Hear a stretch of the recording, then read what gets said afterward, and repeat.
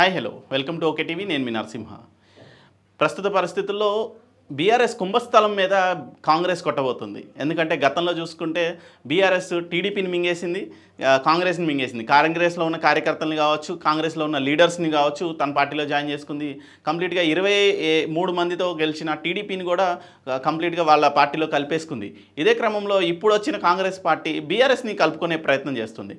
కుంభస్థలం మెయిన్గా ఏదైతే వాళ్ళకి పట్టున్న స్థానాలు ఉన్నాయో లేదంటే వీళ్ళు పార్టీ మారరు ఖచ్చితంగా వీళ్ళే వీళ్ళు పార్టీని అంటుపెట్టుకునే ఉంటారు బీఆర్ఎస్ని వీడరు అన్న పెద్ద నాయకులు ఎవరైతే ఉన్నారో కేసీఆర్ నమ్మకస్తులు కేసీఆర్ నమ్మకం ఎవరిపైన అయితే ఉందో వాళ్ళే పార్టీ మారడం చూస్తుంటే కాంగ్రెస్ యాక్షన్ ప్లాన్ భారీగానే ఉన్నట్టు తెలుస్తుంది.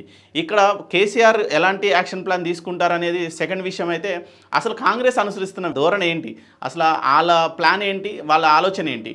కుంభస్థలాన్నే కొడుతున్న కాంగ్రెస్. ఆపరేషన్ ఆకాశ పేరుతో బీఆర్ఎస్ను ఉక్కిరిబిక్కిరి చేస్తోంది. కాంగ్రెస్ పార్టీ ప్రస్తుతం గంగుల కమలాకర్ వంటి బిక్షాట్నే తన పార్టీలో జాయిన్ చేసుకోబోతోంది. పార్టీ ఎమ్మెల్యేలు ఒక్కొక్కరిగా వెళ్ళిపోతుండటంతో ట్రబుల్ షూటర్ అయిన హరీష్ రావును కూడా రంగంలోకి దించారు. అయినా సరే వర్కౌట్ కావట్లేదు. దీంతో నేరుగా కేసీఆర్ రావాల్సి వచ్చింది. గంగుల కమలాకర్ కూడా వెళ్ళిపోవడం అంటే కరీంనగర్లో పార్టీకి భారీ నష్టం జరగడమే. కేసీఆర్కు బీఆర్ఎస్కు సెంటిమెంట్ పరంగా బలమైన ప్రాంతం కూడా కరీంనగరే. పైగా గంగుల కమలాకర్ పార్టీకి బలమైన ఆర్థిక అండదండ కూడా. అందుకే కేసీఆర్ రంగంలోకి దిగాల్సి వచ్చింది.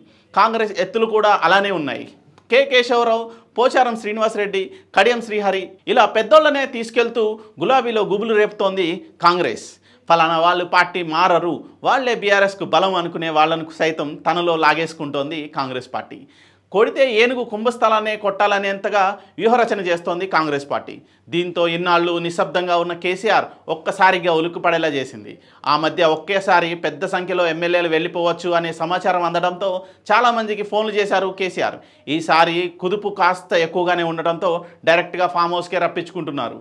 అయితే కేసీఆర్ ఫామ్ హౌస్కు వెళ్ళినంత మాత్రాన పార్టీ మారరు అని కాదు అర్థం. గతంలో ఆరూరు రమేష్ కూడా ఇలాగే చేశారు. ఏం జరిగిందో రాష్ట్రం మొత్తం చూసింది. కేసీఆర్తో అప్పటికప్పుడు మీటింగ్ ఏర్పాటు చేయించి తీసుకెళ్ళారు. ఆ సమయంలో బీఆర్ఎస్ వెంటే ఉంటానంటూ బయటకు వచ్చి ఆరూరి రమేష్ బీజేపీ జెండా కప్పుకొని ఎంపీ టికెట్ దక్కించుకున్నారు. అదే సమావేశంలో ఉన్న కడియం శ్రీహరి కూడా కేసీఆర్ కనుసన్నల్లో నమ్మకంగానే కనిపించారు. అందుకే కడియం కావ్యకు ఎంపీ టికెట్ దక్కింది. తీరా ఎంపీ టికెట్ దక్కిన తర్వాత కేసీఆర్కు చెప్పకుండానే పార్టీ మారారు ఆయన. ప్రస్తుతం జరగబోయేది కూడా అదే. మరో నాలుగున్నర ఏళ్ళ పాటు అధికారం లేని పార్టీలో ఉండడం అంటే మాటలు కాదు. పైగా ఫక్త్ రాజకీయాలు నేర్చుకున్న నేతలు అందులోనూ అటుపైన అధికారంలోకి వస్తారని గ్యారంటీ కూడా లేని పార్టీని ఎన్నికలకు ఆరేళ్ళు ఏడాది ముందు మాత్రమే ఆ పార్టీకి అధికారం దక్కబోతుందని తెలుస్తోంది. అందరిలోనూ అటుపైన అధికారంలోకి వస్తారు అన్న గ్యారంటీ కూడా లేదు. ఎన్నికలకు ఆరు నెలలు ఏడాది ముందు మాత్రమే ఆ పార్టీకి అధికారం దక్కబోతుందని తెలుస్తోంది.